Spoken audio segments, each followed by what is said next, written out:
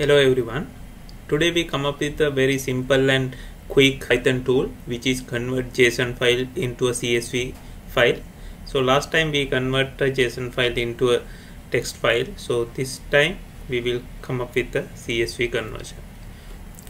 So as in this example, so you can see a JSON file which contains some names and their ages and their ID numbers. So there are three points in each so you have to convert it into a CSV file in this given format. So there is a name column age column and the ID column.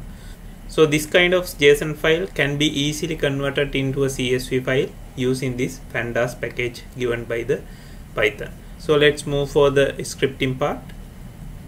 So this is the code for JSON to CSV converter. So only three lines of code so we need the pandas package. So i include it as pd so first we need to get the data set reading through this pandas package pd.read json so inside input folder i have my json file. So as i explained in the uh, example. So three data points three names three age three id numbers are there. So once we read this json through this pandas package we have the data set. So through this data set we can convert it into a CSV format. So there is an inbuilt function called to CSV so there are a lot of other variables you can give uh, your own like separator you can default to comma but you can give it another one like that. So several things you have decimal places decimal symbol you can change like that.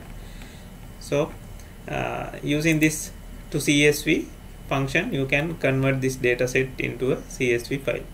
So you can give the file path as well. So let's run this one. Yep it ran and create the CSV uh, file. Let's open in the uh, Excel. Yeah. So this one uh, created as we expected. So you have three columns age column id column and the name column all data are exported as expected. So that is it for this uh, episode. So very short episode. So only three lines of codes for this uh, converter. So the specialty for this one is you have to have separate data sets for each property or each column to align with the uh, CSV column. So that's what the basic requirement for this tool okay let's uh, meet up with another episode soon. So till then goodbye